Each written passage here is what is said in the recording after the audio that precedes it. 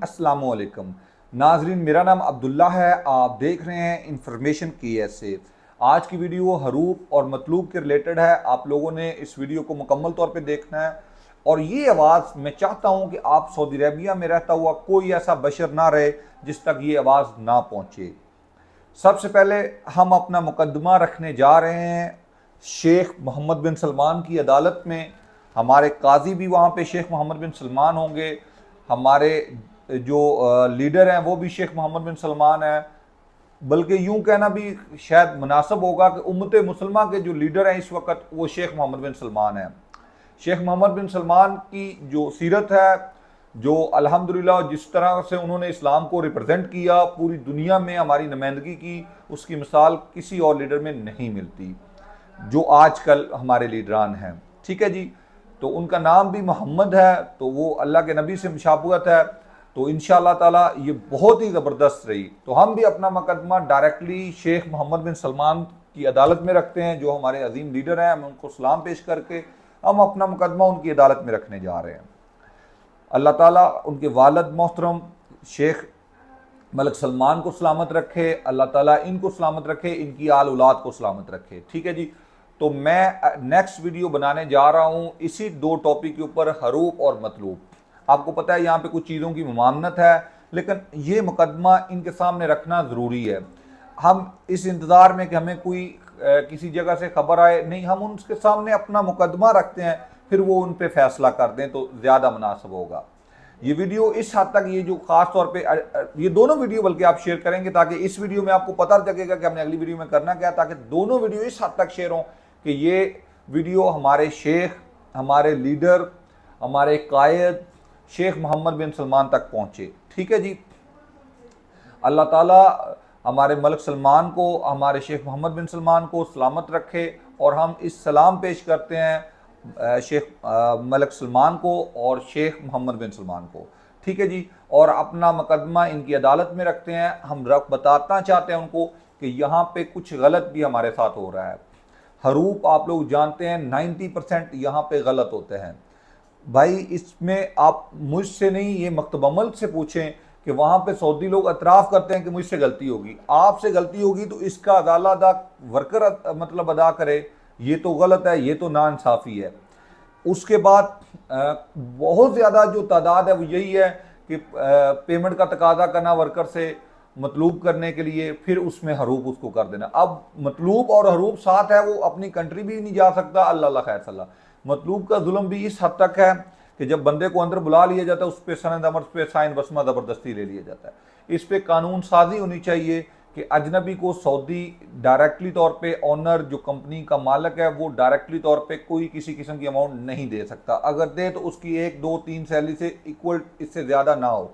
ठीक है जी? यानी कि उसकी तीन सैलरी से ऊपर वो नहीं होना चाहिए और वो इसकी खिदमात, मतलूब वगैरह इसको नहीं कर सकता उन सैलरीज की इवज भी। वो उसने उसकी कटौती ही करनी है। अदरवाइज़ वो उसको पैसे ना दे अगर उसको उस पर एतबार या मतलब भरोसा नहीं है तो। ये इस चीज़ में कानून साजी होनी ज़रूरी है। हम रिक्वेस्ट ही कर सकते हैं, और तो कोई बात नहीं है हम कर रहे हम अपने शेख से, हम अपने लीडर से, हम अपने कायद मोहम्मद बिन सलमान से ये रिक्वेस्ट करते हैं कि वो काजी बन के हमारा मुकदमा सुने, वो हमारे बादशाह बन के क्योंकि हम भी उनकी रियाया में एक तरह से शामिल हैं, क्योंकि हम भी इस मुल्क में, जिस मुल्क के शेख मोहम्मद बिन सलमान सरबराह ममलकत हैं तो उस मुल्क में हम भी रहते हैं, ठीक है? भले हम आर्जी तौर पर हैं कुछ अरसे के लिए, लेकिन हम इस मुल्क में जब तक मौजूद हैं, हम भी उनकी ज़िम्मेदारी में शुमार होते हैं। अल्लाह ताला इनको सलामत रखे, मेरी आप लोगों से रिक्वेस्ट है जब तक ये वीडियो आप लोग वायरल कर रहे हैं तमाम अजनबी चाहे आपका तलक इंडिया से है पाकिस्तान से है किसी कंट्री से भी है आप डी लगाएँ शेख मोहम्मद बिन सलमान की आप आ, हर जगह पे ये वीडियोस वायरल करेंगे आ, अपने स्टेटस में शेख मोहम्मद बिन सलमान का आप लगाएँगे वीडियोस तस्वीर और ख़ास तौर पे ये वीडियो जो मैंने आपको बताई है कि अगली वीडियो अरबी में बनने जा रही है इसी हवाले से कि ये रिक्वेस्ट हम एक सबमिट करने जा रहे हैं शेख मोहम्मद बिन सलमान को, इसमें हमारा भरपूर साथ देना है। देखिए, आपको सऊदी अरबिया में इस इशू का सामना है या नहीं है, लेकिन आपको पता है ये मुस्तकबल में आपको भी इस इशू का सामना हो सकता है। जो ज्यादती या जो किसी दस अफराद के साथ हो सकती है, वो किसी के भी साथ हो सकती है। तो हम नज़रसानी की रिक्वेस्ट करते हैं कि इस पर नज़रसानी की जाए। सऊदी अरबिया में इस पर कानून साजी हो कि मतलूब का जो मामला है, इस पर ख़ास तौर पे और हरूब का एक बाकायदा तौर पे एक प्लेटफॉर्म बनाया जाए जहाँ पे अजनबी जाके डायरेक्टली तौर पे अपनी रिक्वेस्ट सबमिट करें और गिल्टी होने पर फौरी तौर पे उसको डिपोर्ट कर दिया जाए। अगर वो गिल्टी नहीं है तो फौरी तौर पे एबसेंट फ्रॉम वर्क रिमूव कर दिया जाए और उससे ट्रांसफ़र की इजाज़त दे दी जाए। अब मैसेज नहीं आता कई लोगों को, कफील के साथ काम कर रहे हैं ट्रांसफ़र के वक्त पता चलता है कि हरूब हुए कोई साल हो गया छः महीने हो गए। अब डेली कौन चेक करता है अपना सिस्टम कि हरूब हुआ है कि नहीं हुआ? दिल मतलब एक बंदा ऑफ़िस में काम कर रहा है, उसको क्या पता? एक बंदा कंपनी में, फैक्ट्री में मुलाजमत कर रहा है, रोड पे, जहाँ पे भी जॉब है उसकी तो उसको क्या पता? तो हमने इस पे ये रिक्वेस्ट सबमिट करनी है। अपना मुकदमा हमारे शेख के सामने रखना है। अल्लाह ताला उनको सलामत रखे से तंदरुस्ती के साथ। तो उसके बाद उनका साया हमारे सरों पे हमेशा सलामत रहे। तो ये हमने रिक्वेस्ट सबमिट करने जा रहे हैं शेख मोहम्मद बिन सलमान को। आप लोगों से रिक्वेस्ट है। कि ये वीडियो तब तक शेयर होनी चाहिए, जब तक ये वीडियो हमारे शेख, हमारे कायद, हमारे लीडर उमत मुसलमा के जो लीडर हैं, शेख मोहम्मद बिन सलमान तक ना पहुँचे। अल्लाह हाफिज़। नेक्स्ट वीडियो तक इजाज़त दीजिए जेन में रखें नेक्स्ट वीडियो अरबी में होगी और इसी मतलब होगी। वो आज अपलोड कर दूँ या कल कर दूँ? आज तारीख है अट्ठाईस, उनतीस को वो वीडियो अपलोड कर देंगे। लेकिन ये दोनों वीडियो हर शख्स तक पहुंचनी चाहिए। ये आप लोगों की ज़िम्मेदारी है। जब भी आप कुछ, वो कहते हैं ना कि एक सैलाब समंदर बाहर निकल आए तो आप उसको रोकने की इस्तात नहीं रखते।